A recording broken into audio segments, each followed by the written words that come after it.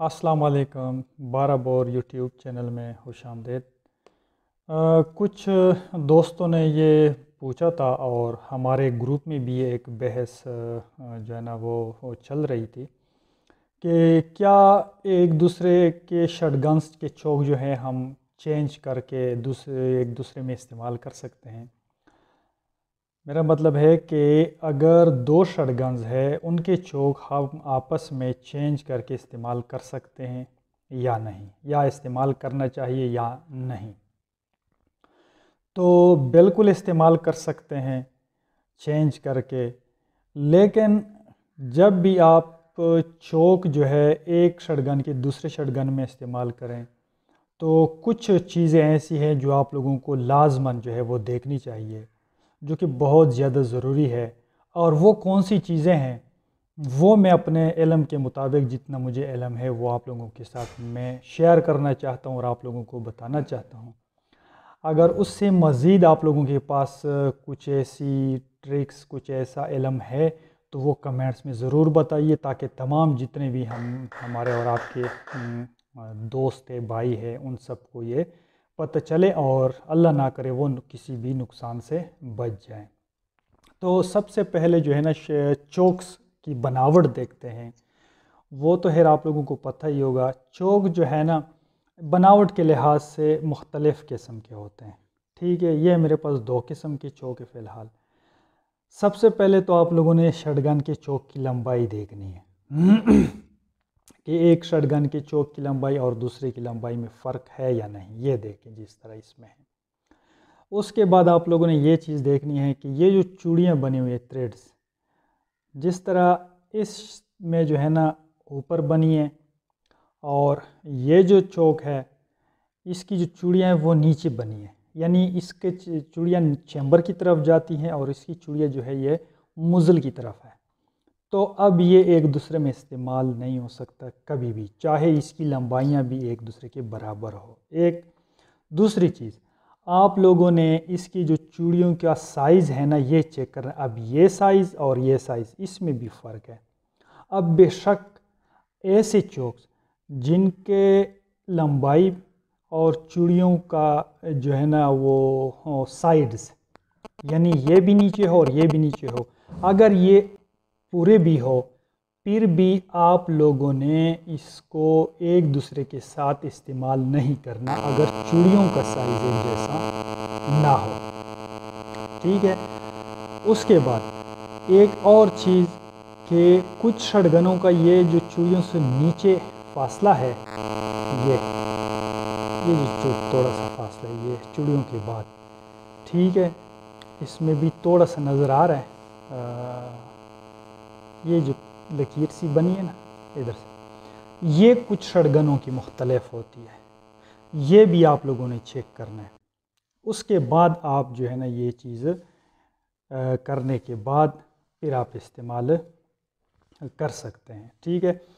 उससे, इससे भी ज़्यादा एक, जो मोस्ट इम्पोर्टेंट इम्पोर्टेंट चीज़ है, सबसे अहम जो चीज़ है वो मैं आप लोगों को बताता हूँ, वो आप लोगों ने ज़रूर चेक करना है।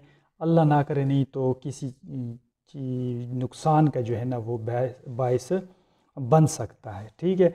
वो ये है अच्छा सबसे पहले तो ये है कि आप लोगों ने जब भी ये चोक अब दूसरे शटगन में डालना है तो जब आप इसको टाइट करें ना तो ये बिल्कुल स्मूथ इसका जो जाना है ना, या इसको जो घुमाव है ये बिल्कुल स्मूथ होना चाहिए। जिस तरह पहले शटगन में है, उसी तरह स्मूथ घुमाव जो है दूसरे में भी जो है ना, ये स्मूथ आना जाना चाहिए। ठीक है? उसके बाद जो सबसे ज़रूरी चीज़ है, वो ये है, ये चीज़ें शायद आपको कोई ना बताए। मैं आपको, लोगों को बता देता हूँ, या पता भी होगा कुछ लोगों को, कि जब आप इस तरह शटगन में ने आप शटगन में आपने चौक डाल दिया, फिक्स कर लिया, ठीक है, आपको तसल्ली हो गई एक चीज़ रह जाती है, वो आप लोगों ने ना ज़रूर चेक करनी है। और वो ये है कि इस तरह आपने बैरल लेनी है और चैम्बर वाली साइड से देखना है इसमें। ठीक है? जब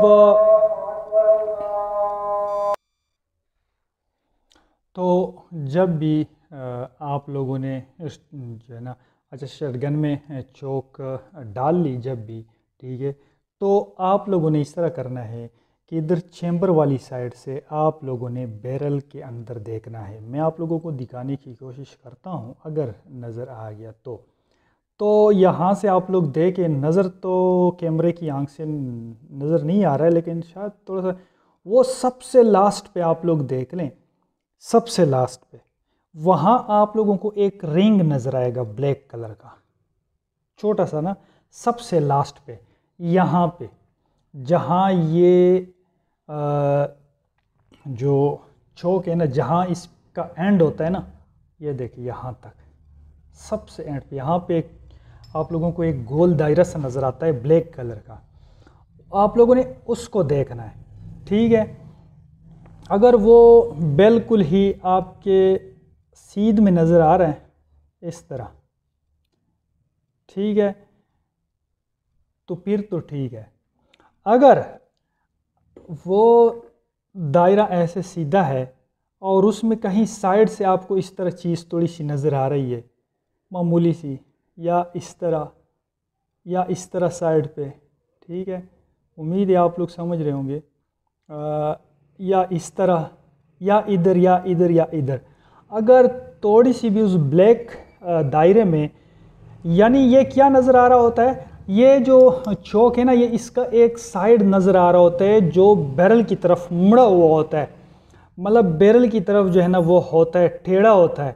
यानी ये चौक जो है, वहाँ पे सही तरीके से बैठा नहीं होता। टाइट भी होगा, सब कुछ होगा, लेकिन या तो इसमें मसला है, या इसके साइज़ में मसला है, या इसकी जो गोल दायरा है, ये टेढ़ा है। और ये मेरे साथ हुआ है कभी कभार ये चौक हमसे गिर जाते हैं, या इसको थोड़ा ये प्रेस हो जाते हैं, कभी जो है ना शड़गन इसके ऊपर गिर जाता है, चौक पड़ा होता है शड़गन गिर जाती है, बैरल गिर जाती है, या किसी भी वजह से।